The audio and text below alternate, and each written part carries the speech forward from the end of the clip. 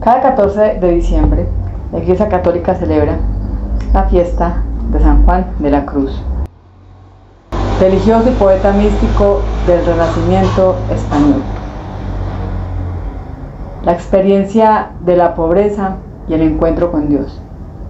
San Juan nació en Fontiveros, provincia de Ávila, España, el 24 de junio de 1542.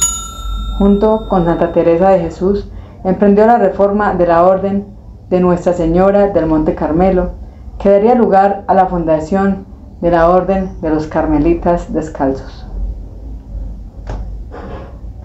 Juan de Yepes Álvarez, su nombre secular, fue hijo de padres de ascendencia judía conversos al cristianismo. Don Gonzalo de Yepes, tejedor toledano, y doña Catalina Álvarez, tuvo dos hermanos mayores, Francisco y Luis. Don Gonzalo había sido desheredado por su familia a causa de su matrimonio con Catalina y murió cuando Juan tenía solo cuatro años. Aquella pérdida sumió a la familia en la pobreza y aunque Catalina pidió ayuda a los familiares de Gonzalo, nunca tuvo éxito. En medio del campo, a cambio de ciertas contraprestaciones que lo conducen a servir como monaguillo y sacristán en uno de los templos de la ciudad. La noche oscura y la obra de San Juan de la Cruz, el amor puro. Santa Edith Stein, en una carta escrita en 1940, se refiere a un punto cumbre de la espiritualidad de San Juan de la Cruz.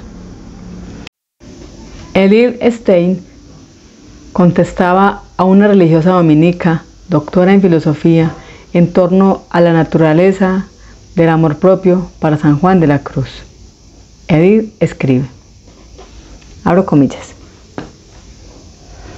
San Juan de la Cruz entiende por amor puro a el amor de Dios por él mismo.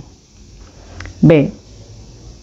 El de un corazón libre de todo apego a cualquier cosa creada, a sí mismo y al resto de las criaturas, pero también a todo consuelo y cosas similares que Dios pueda conceder al alma a cualquier forma de devoción especial. C. El de un corazón que no desea otra cosa sino que se cumpla la voluntad de Dios y que se deja guiar por Él sin resistencia. Lo que una puede hacer para llegar hasta aquí es ampliamente tratado en la subida del Monte Carmelo. Otra obra cumbre del santo cómo Dios purifica el alma en la noche oscura. El resultado. En la llama de amor viva y en el cántico espiritual. Básicamente, puede encontrarse en todo el camino, en cada una de las obras, únicamente que en cada caso se acentúa una etapa u otra. Pero si usted desea aprender lo esencial recopilado, de forma mucho más breve, entonces debe coger los escritos breves. Cierro comillas. A San Juan de la Cruz se le considera, junto a Teresa, la cumbre de la mística cristiana española. Muchos de los escritores y poetas más importantes de la historia reconocen haber sido influenciados por su poesía, y otros tantos sostienen que San Juan representa el nivel más elevado de la poesía escrita en castellano.